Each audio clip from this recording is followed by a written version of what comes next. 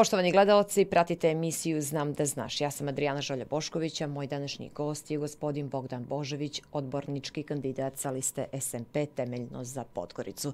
Gospodine Božoviću, dobar dan i dobrodošli. Dobar dan i hvala na prilici da još jednom gostujem u vašoj emisiji. Recite mi, gospodine Bošoviću, kako vam izgleda Podgorica danas nakon četiri godine rada aktuelne gradske uprave, čiji ste član bili kao odbornik SMP-a? Pa na početku mandata aktualne administracije u glavnom gradu koja je na vlasti e, identifikovani su određeni problemi. E, prvi problem svakako i ono što smo mi, na što smo mi ukazivali iz opozicije u Skupštini glavnog grada jeste saobraćajni haos. Zaista kao neko ko zbog prirode posla mora da putuje s kraja na kraj grada radnim danima, primjetno je da sada mnogo više vremena provodim u vožnji.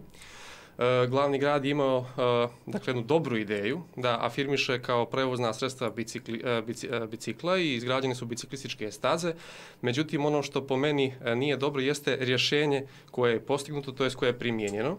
Dakle, imamo određene saobraćajnice u glavnom gradu koje su i u prethodnom periodu bile prepoznate kao uska grla kada je riječ o frekvenciji saobraćaja i u tim, dakle, u tim saobraćajnicama jedna kolovozna traka iskorištena kako bi se izgradi biciklističke staze i nažalost to je dovelo do još veće, većih, veće povećanja gužvi u saobraćaju umjesto da, da ih rastereti.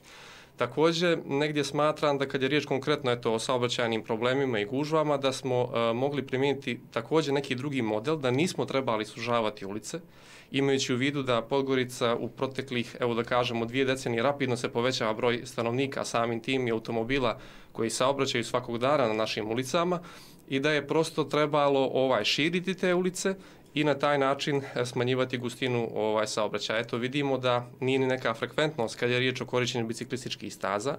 Možda se je mogao naći još neki način kako bi se afirmisalo biciklo kao prevozno sredstvo koje bi mogli koristiti građani. Također, A možda i navika su ugrađana, šta mislite? Pa moguće, ali mogli smo svakako i svojim primjerom, to je gradska administracija, da koristi da afirmiše biciklo kao prevozno sredstvo, ljudi koji su na čelnim pozicijama. Što se tiče također još jednog problema koje je i sam gradonačelnik Vuković, o čemu je govorio na početku mandata, jeste očuvanje zelenih površina. Mi smo i tako čuvali tako što su devastirana dvije, dvije zelene oaze u našem e, gradu, to su Brdo Ljubović i Brdo Gorica. Imate onaj dio tamo, vjerujem da građani su sa tim upoznati, prema Vezirovom mostu koji je bukvalno betoniran. Zatim Brdo Ljubović koji je, mogu reći slobodno, neodgovorni investitor, značajan dio Brda ovaj odvaljen, da nije bilo spontane reakcije građana, pitanje da li bi se to zaustavilo. Pamtim tada i izjavu gradonačelnika Vukovića koji je rekao da on apsolutno nemoćan u toj situaciji, da ne može ništa da uradi kako bi se to zaustavilo i tada je nadležno ministarstvo reagovalo i zaustavljena je dalja granja.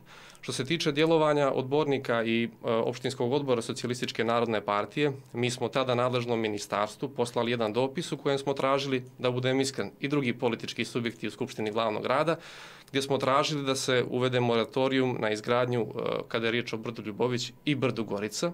Konkretno za Brdo Goricu je to i učinjeno, što je svakako pozitivno, jer je to nešto što ostaje generacijama koje dolaze, ali Brdo Ljubović sa druge strane po meni nepravedno izostavljeno i to je dio i našeg predizbornog programa gdje smo naveli da ćemo po preuzimanju vlasti od 24. oktobra insistirati na tome i da Brdo Ljubović bude zaštićeno.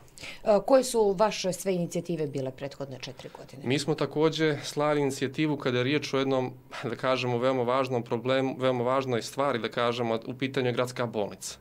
E, znam da postoji podilan ingerencija ono što je u nadležnosti glavnog rada i što je u nadležnosti Ministarstva zdravlja. E, tako da se ne može kazati da je isključivo odgovornost glavnog grada. Ali u pretekle dvije, odnosno tri decenije, na vlasti su se i na državnom nivou i na lokalnom nivou nalazila Demokratska partija socijalista. Prosto bilo je dovoljno vremena da se nađe adekvatan prostor, da se obezbijede neophodna sredstva kako bi bila izgrađena gradska bolnica. Zaista po meni je nedopustivo da glavni grad nema gradsku bolnicu, da me niko ne shvati pogrešno, apsolutno poštovanje prema svim ostalim gradovima u Crnoj Gori, a gradovi koji su po deset puta manji od Podgorice imaju gradsku bolnicu. Svjedoci smo da je to posebno došlo, nažalost, do izražaja u ovoj eh, eri epidemije koronavirusa, kada smo morali da koristimo i šatore kako bi ljude mogli da smjestimo i, i pružimo i neophodnu njegu. A recite mi, da li je to možda bila uh, vaša inicijativa u Skupštini? Ne glavnog grada, nego u Skupštini. U Skupštini, pa mi smo tada poslali dopis ka Ministarstvu zdravlja. Ono je u suštini a, možda i najodgovornije i oni su kazali da za vrijeme prethodne vlade da o tome razmišljaju, da naravno to imaju u planu i prepoznali su kao to nešto, kao nešto što je neophodno da se riješi u glavnom gradu. Što se konkretno tiče djelovanja ministara, konkretno ministra zdravlja iz radova Socialističke narodne partije, ja ću posjetiti da su postavljeni kamen temeljac za izgradnju klinike za mentalno zdravlje, za infektivnu kliniku. Očekuje se izgradnja i e, još jednog e, objekta za zdravstvenu upotrebu, tako da što se tiče ljudi koji su predstavili Socialističku narodnu partiju u vladi 43. mi smo se zaista trudili za kratko vrijeme da postignemo najviše što je moguće I eto, mogu bih to da napomenem kao podatak da su e, povećani plati nemedicinskom kadru, čini mi su iznos oko 10 do 15%, tako da smo zaista vodili i u tom dijelu računa i vjerovatno da smo imali više vremena po, uh, pronašli bi rešenje, naravno u saradnji sa glavnim gradom i sa budućom vlastju. Vjerujem da će to učiniti, biti učinjeno i sa državnog nivoa u narednom periodu kako bi se našao adekvatan prostor i sredstva za izgradnju gradske bolnice. E, recite mi šta vas u listu preporučuje da bude na vlasti naredne e, četiri godine? Koji su prioriteti u razvoju našeg grada? Pa što se tiče liste socijalističke narodne partije, ono što meni čini posebno zadovoljstvo što se na njoj dominantno nalaze mlađi ljudi. Dakle, to su ljudi koji dolaze iz različitih profesija, koji su ostvareni u oblastima kojima se bavi već duži vremenski period i koji imaju dovoljno iskustva i znanja, ono što je u suštini najbitnije i ono što bi trebalo da preporučuje nekoga da bi mogao da se nalazi na odgovornim pozicijama sjutra u, u glavnom gradu. Dakle, sve ono što nas, da kažemo, vezuje, tu postoje ljudi naravno različitih nacija, različitih pogleda na određene probleme, ali ona tačka dodira što nas povezuje jeste želja da se Podgorica zaista razvija u dobrom smjeru i da bude prepoznat u narodnom periodu kao jedan evropski i modern grad. Na čelu naše liste, kao što znate, nalazi se Nebojša Vuksanović. On je E, magistar ekonomskih nauka, također završi mašinski fakultet u Beogradu. Svoje radno iskustvo e, sticao je u zapadnoj Evropi jednim zdravim sistemima u kojima se prije svega cijeni kvalitet i zalaganje na poslu. Tako da mislim u poštovanje svih ostalih kandidata koji učestvuju na ovim izborima da SMP ima ubjedljivo najozbiljnije kandidata za kojeg apsolutno ne sumljam da bi mogao da odgovori svim izazovima koje sa sobom nosi obavljanje jedne tako važne funkcije kao što je gradonačelnik glavnog grada. E, tokom predizborne kampanje e, predstavili ste e, Smart City da. koncept. Šta on tačno podrazumijeva? Ovako, aplikacija Smart City ili pametan grada, prevodimo na naš jezik, ovaj, treba u suštini da poveća transparentnost u radu. To je neka naša ideja i zamisao kako bi to trebalo da izgleda. Suština je da naši građani mogu u svakom trenutku da vide između ostalog i kako se koriste naša sredstva u koje svrhe se koriste sredstva iz budžeta, kao i da prijavljuju neke lokalne probleme iz mjesta u kojima žive. Dakle, pored toga, dakle, on će nuditi i određene opcije da kada se prijavi problem mi možemo pratiti realizaciju ili brzinu reagovanja nadležnih službi u glavnom gradu, čime bi se i povećala efikasnost u radu, što smatramo da je jako značajno. Izvinite, mi sad imamo jedan sličan taj sistem, sistem 48, gdje građani prijavljuju problem, a gradske službe imaju rok od 48 sati kako bi riješili problem. Da. Riječ je, e, ukoliko se navalno sistemu koji se nalazi na sajtu glavnog rada, neophodno je ući, mi nudimo aplikaciju koja će biti svima dostupna na mobilnim telefonima. Naravno, e, bit će, izvinjava se, obezbijeđena naravno i jedan da kažemo, e, period edukacije da bi ljudi bili upoznati, posebno naše starije generacije, kako se to može koristiti. Poenta je da bude to jednostavno, da svi mogu da ga koriste i da, kao što se rekao, pomaže da glavni grad e, pruža što kvalitetnije usluge u što kraćem vremenskom periodu, što, nažalost, u ovom e, periodu četiri godine od 2018. baš se i ne može gradska administracija sa time pohvaliti. Znamo za mnoge, za brojne projekte čija realizacija, to je završetak, je kasnio. Evo, da pomene samo pozorište da ne idem dalje, koliko puta je najavljivano da će biti e, završno, završeni radovi preko milion eura su prebačeni, e, plan, prebaceni, e, planirani troškovi. Isti izvođač je bio radova kao za muzički centar koji se kasnije nije mogao koristiti. Znači, izostala je efikasnost u radu i ono što je također za meni, meni barem nejasno, da apsolutno nije postojala odgovornost. Niko A izvinite, da li ste ta pitanja uputili e, gradonačelniku Podgorice Ivanu Absolutno. Vukoviću i ostatku gradske Absolutno. uprave na, na, gla, na odboru, na parlamentu gradskom? Tako, apsolutno. I ste dobili odgovore? Apsolutno. Znači, troškovi su povećani, prolongirani završetak radova. E, razumio sam da je odgovornost izvođača, međutim, niko nije snosio odgovornost za to. Moje prvo odborničko pitanje je bilo ono što je DPS obećao građanima prilikom posljednjih lokalnih izbora, konkretno za ulicu Vojsavljevića na Zabilu. Dakle, rečeno da će biti rekonstruisana, u toj ulici je bilo i dosta nesreća, e, nije bezbjedna za saobraćaj, kada načelnik Vuković mi je odmah postupanje dužnost rekao da toga nema ništa, iako je obećano, da su troškovi preko 10 miliona eura, ja se prosto pitan zar nisu ljudi iz glavnog grada, iz administracije to znali i zašto je uopšte građanima to obećano ako se to nije moglo realizovati. E, recite mi kako ste kroz e, vašu e, predizbornu kampanju osmislili socioekonomski razvoj Podgorice? Ovako, što se tiče socioekonomskog razvoja Podgorice, imamo, da kažem, ajde, dvije najbitnije stavke koje smo prepoznali i definisali kad je riječ posebno o socijalno ranjivim kategorijama. Mi imamo jednu ideju da se u užem centru grada izvrši elektrifikacija autobusa. Dakle, na taj način bi se postigla značajna ušteda. Evo ja ću otprilike reći neke cifre. Dakle, e, za potrošnju struje autobusa koji bi saobraćali e, u užem centru grada bi bilo na godišnjem nivou izdvojeno oko 24.000 eura za gorivo, dakle autobusi koji idu e, koriste dakle, gorivo, izdvajalo bi se 140.000 eura. Također, za održavanje tih autobusa na e, godišnjem nivou se izdvaja 3.000, dok se za autobuse koji sada koriste otprilike izdvaja oko 10.000 eura. Naša ideja Pored toga, naravno, što će to zaštititi zelene površine, smanjiti se količina emisije ugljen dioksida, da se ta sredstva iskoriste ta ušteda i da se preusmjere kako bi naše najranjivije kategorije, u konkretno penzioneri, mogli besplatno da koriste prevoz u užem, užem centru grada. Također, postoji još jedna ideja, ali koju je potrebno dodatno analizirati kada budemo vlast. Siguran sam da ćemo to učiniti uvidom u budžeti neke stavke, kako se koriste i da li postoji prostor za to. Imamo ideju da se subvencionišu određeni računi e, za komunalne usluge, također za najranjivije kategorije, ali kažem da ne bi unaprijed nešto obećavali ljudima i posle bili neozbiljni, neodgovorni kada postanemo dio vlasti, to je potrebno dodatno analizirati. E, samo da mi objasnite ovo za autobus i uži centar e, grade. To bi da. značilo novu kupovinu autobusa, tako, koji su na električni pogon?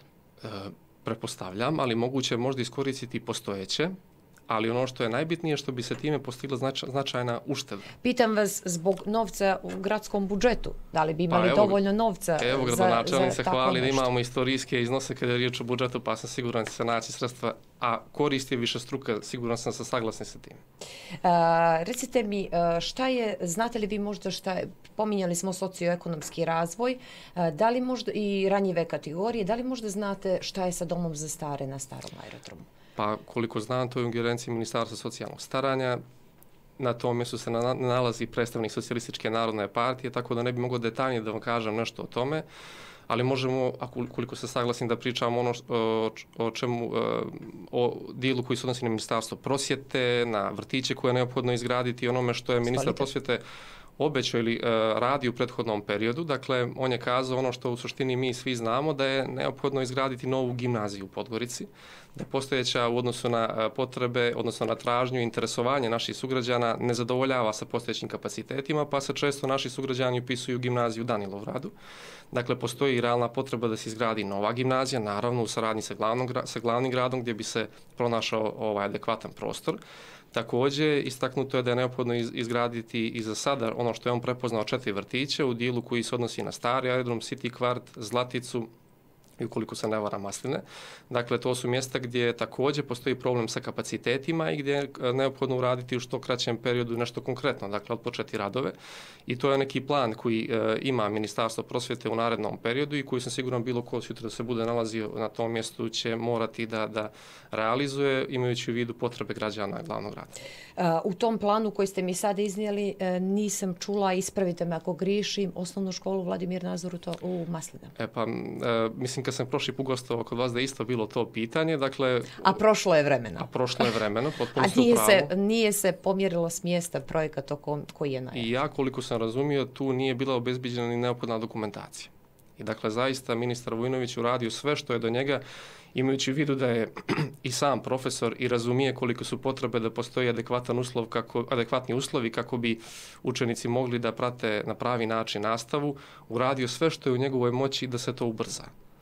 Dakle, to je problem koji je eh, praktično naslijeđen i on je sve što je u njegovoj moći uradio da se to da se to ovaj što u što kraćem roku ovaj otpočnu i završe radovi. Koliko se razumio bio problem i sa neophodnom dokumentacijom. U tom dijelu je problem riješen. I ja se nadam da će to prije svega imajući u vidu potrebe naših najmlađih sugrađana biti riješeno u što kraćem roku. E, recite mi kako ocjenjujete turistički potencijal Podgorice? Turistička organizacija Podgorice bilježi izuzetne podatke ove godine. E, da li može Podgorica e, u narednom periodu parirati turističkim prijestolicama? Pa pitanje je da li Podgorica u suštini imajući u vidu da je cjelokupna naša turistička ponuda, mislim, u najvećoj mjeri bazirana na primori, na primorskim gradovima, ljetnjoj sezoni, u kolikoj mjeri Podgorica zaista može da parira. Znamo koliki broj noćenja se ostvaruje na našem primjeru. Međutim, ono što možemo da učinimo po mom skromnom sudu jeste da Podgorica ne bude prepoznata kao tranzitna zona. Dakle, da, da, da afirmišemo neke vidove turizma, eto, mi smo imali neku ideju da se može afirmisati možda vinski turizam, zato što su plantaže, mi vjerujem da ste upoznati i čini mi se da je taj podatak e, tačan, da je najveći, najveći vinograd u Evropi. Dakle, posebno se to vidi kada turisti dolaze avionima u, našu, u naš glavni grad i mogao bi se afirmisati i taj vid turizma i obično stranci kada dođu tamo koji su stvarno ne u velikom broju, oni su impresionirani i sa našim podrumima i sa kvalitetom vina koje mi tamo imamo. Također može se možda afirmisati i ruralni turizam, koji je jedan od oblika turizma. E, neophodno je naravno izgraditi adekvatnu vodovodnu i putnu infrastrukturu da bi uopšte turisti bili zainteresovani, da bi to u suštini imalo efekta i tu možemo iskoristiti i, i taj potencijal da e, afirmišemo i neke domaće proizvode koje bi turisti ovaj mogli da probaju i ono i da naravno koristimo sve te potencijale kako bi ti ljudi u dužem vremenskom periodu posjećivali ovaj Podgoricu i to je sve nešto što smo mi ovaj prepoznali da bi se moglo učiniti ovaj kako bi e, naša turistička ponuda u suštini bila bogatija. Eh, ono što nije dobro jeste i tokom ljetnje sezone neki radovi koji su se odvijeli u centru grada. Opet smo imali kašnjenje sa završetkom radova i brojni turisti kada su prolazili, vjerujem da, da, da su nis, bili su iznenađeni ovaj slikom da u centru grada prosto postoje iskopane ulice i ne daj Bože sa većom kišom kakvu tek onda sliku šaljemo ljudima koji dolaze u naš grad, a mi imamo intenciju i namjeru da Podgorica bude prepoznata u budućem periodu kao mjesto gdje turisti mogu, koje mogu da posjete i imaju šta da vide. Podgorica je peti najzeleniji grad u Evropi prema evropskim eminentnim istraživanjima. Da li bi se kroz vaš program nastavilo ozelenjavanje našeg grada? Apsolutno. Mislim da je to... Da je Na koji način? Možemo kroz sadnju stabala, neke akcije koje bi afirmisali, iskreno govorići, to i radi u glavni grad u prethodnom, u prethodnom periodu. Međutim, ono što jeste po meni neophodno jeste adekvatno planiranje prostora. Dakle, mi smo, nažalost, u određenim dijelovima grada bukvalno sve izbetonirali i veoma male zelene površine imamo. Mogu da govorim konkretno o, o zabilu onom dijelu ispod Ljubovića, koje je zaista zgrade su daljne svega nekoliko metara jedno od druge. Znate da je postojao problem tu u prethodnom periodu sa dvorištem tih zgrada, pa smo morali da pregovaramo s investitorom, da obezbidimo dodatna sredstva i tako dalje i tako dalje. Dakle, neophodno je bolje plansko, eh, bolje, bolje planiranje prostora. Imamo eto primjer bloka o čemu je govorio i gospodin kolega Rakčević, kandidat e, urezga gradonačelnika, gdje je taj prostor čini mi se najbolje planiran u odnosu na ostale dijelove glavnog grada i mogli bi da preminimo po meni isti taj recept. Takođe, eto, pomenuo sam Brdo Ljubović i Brdo Gorica, žalim zaista zašto je došlo do bukvalno, bet, ja nisam nigdje vidio taj primjer drugo, da je neko kao rješenje za uređenje prostora izbetonirao brdo koje predstavlja zelenu oazu, jedan, jedan od simbola Podgorice. Tako da u narednom periodu, kao što sam rekao, kroz afirmaciju tih akcija, kroz zaštitu brda Ljubović možemo da doprinesemo očuvanju zelenih površina u našem gradu. E, Sekretarija za podršku biznis zajednici je kroz brojne programe e, pružio podršku preduzetnicima i na taj način je posebno u ovom vremenu pandemije, kada je zaista bilo e, svim građanima Podgorice izuzetno teško, obezbijedio hiljadu i po novih radnih mjesta. E, na koji način biste vi nastavili ovu, moramo reći, dobru praksu? Pa dobro, e, upoznao sam da glavni grad ima programe e, posebno za start-up biznise, dakle za podršku mladim preduzetnicima. Imao sam prilike da razgovaram sa nekim od njih. Naravno, njima bi bilo, njima bi uvijek odgovaralo da imaju više sredstava na raspolaganju kako bi mogle da, da, da realizuju svoje ideje. Što se tiče neke naše vizije, posebno kada je riječ o preduzetništvu, mi smo imali ideju da se napušteni vojni ocijek koji se nalazi u onom dijelu prema maslinama prije nadvožnjaka iskoristi kako bi se mogao napraviti jedan multifunkcionalni centar koji bi bio od koristi e, novim preduzetnicima, tako da kažem. Inače, e, mala i srednja preduzeća, barem onome što sam imao prilike da, da, dok, sam, da učim dok sam studirao na ekonomskom fakultetu, jesu generator privrednog i ekonomskog razvoja razvijenih zemalja, barem to pokazuju podaci od primjera Sjednih američkih država i ostalih zemalja Eh, razvijenih zemalja zapadne Europe, tako da je to veoma važan segment da glavni grad prepozna tu potencijal, Podgorica kao a, mjesto sa skoro evo preko 200.000 stanovnika mora biti lokomotiv ekonomskog razvoja Crne Gore. Takođe, ono što sam, sa, sa, sa čime sam takođe upoznat, da postoje zainteresovani investitori koji bi konkretno ulagali u solarne panele. Uh, E, mislim da su investitori potencijalni bili iz Kine, e, zaboravio sam sada naziv tačno firme, koji su pregovarali i sa rukovodstvom plantaža i sa našom vladom, koji su prepoznali ogroman prostor i zemljište koje posjeduje, koje posjeduju plantaže bi se mogao iskoristiti za pokretanje biznisa koji se tiču solarnih panela. To je više struko korisno. Znamo da su to da je to korišćenje obnovljivih izbora, izvora energije, da je čisto, da se sa time ne zagađuje okolina i tu postoji po meni prostor sa onim zemljištem koji se nalazi u vlasništvu glavnog grada i kako bi se on dakle mogao na, e, iskoristiti na najbolji mogući način. Mi negdje razmišljamo u tom dijelu da bi se mogao također za pokretanje toga biznisa iskoristiti naravno glavni grad, eto više puta pominjamo koliki je budžet glavnog grada, mogao bi da iskoristi neka sredstva kao posticajne mjere kako bi usmjerio ljude koji su naravno zainteresovani i imaju ideje da ulažu u taj biznis, što mislim da bi bilo više struko korisno na duži period, imajući u vidu sva dešavanja na globalnom i svjetskom nivou i koliki su cijene energenata i neizvjesnu budućnost kada je riječ o to, toj oblasti. Jeste li zadovoljni sa kulturnom ponudom grada? Pa kulturna ponuda glada je svakako bogatija, iskreno odnosno na prethodni period. Mi, Podgorica, eto, kao glavni grad sa oko 200.000 stanovnika, možda u prethodnom periodu, iako ima po meni potencijal, nije bila prepoznata kao neko sad kulturno mjesto, rasadnik, umjetnika i tako dalje.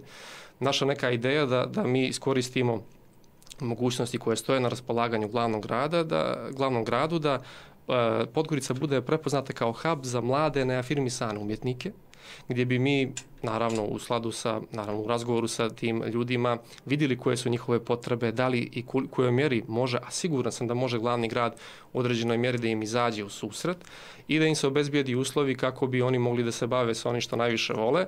I kažem, nadam se da će, eto, siguran sam po preuzimanju vlasti 24. oktobra da ćemo nešto konkretno učiniti u tom pravcu kako bi stvorili sve uslove za mlade ljude koji žele da se bave tom oblašću, da imaju prostor za napredak i naravno da ona bude prepoznata kao mjesto gdje mogu da dolaze iz svih krajeva neafirmisani mladi umjetnici. E, kako vi zamišljate odnos lokalne, lokalne samouprave i građana?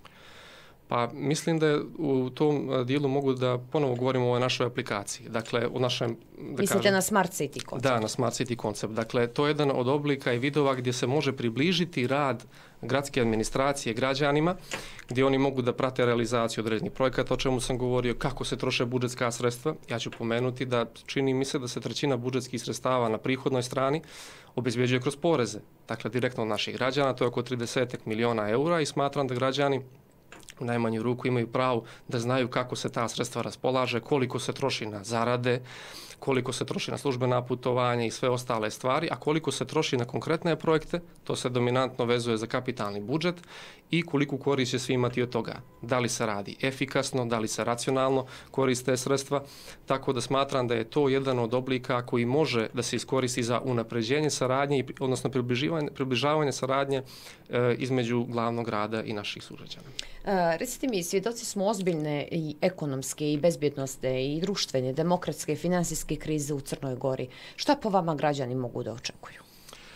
u zavisnosti od rezultata lokalnih izbora ili mislite uopšteno? Ne, ne u zavisnosti od rezultata, mislim uopšte, na sve građane pa, u Crnoj Gori. U bezbjedonosnoj situaciji zaista nisam kompetentan da bi mogla da govorim na globalnom nivou što će desiti. Vjerujem da veoma mali broj ljudi može sa sigurnošću da predvidi ovaj epilog, epilog i eventualne posljedice. Što se tiče mm, na neki, da kažemo, ekonomskog stanja, mogu konkretno da, da govorim o onome što je učinjeno za kratko vrijeme trajanja ove 43. vlade Crne Gore. Dakle, ministar e, Joković, ministar poljoprivrede, u posjeti tada Beogradu dogovorio redovno snadbijevanje osnovnim životnim namirnicama, što vjerujem da je, da, da, svako, da je, da je svako u suštini, imajući u vidu sve okolnosti na prvom mjestu. E, također, do, dogovorna je saradnja u mnogim drugim e, oblastima. Mi u Skupštini, konkretno Crne Gore, smo usvojili mnoge predloge vlade Crne Gore da se smanje cijene osnovnih životnih namirnica.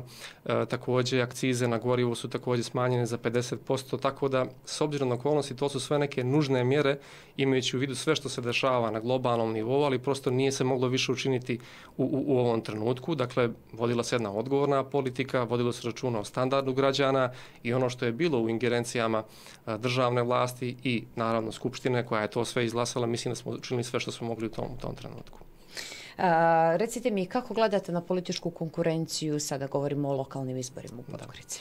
Pa ja sam u suštini govorio o listi Socialističke narodne partije. Ukoliko pogledate, na toj listi se nalaze ljudi koji dolaze iz različitih profesija. Kao što sam rekao, njima politika nije primarni izbor, već žele prepoznali su SMP kao partiju kroz koju mogu e, na najbolji mogući način da približe svoje znanje i iskustvo građanima, to je da ih stave na raspolaganje kako bi se moglo to koristiti kasnije za, za razvoj našeg grada.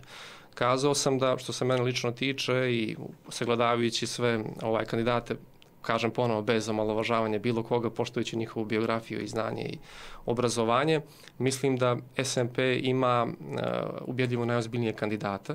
Dakle, Nebojša je jedini od kandidata koji se konkretno dokazu u borbi protiv organizovanog kriminala i korupcije.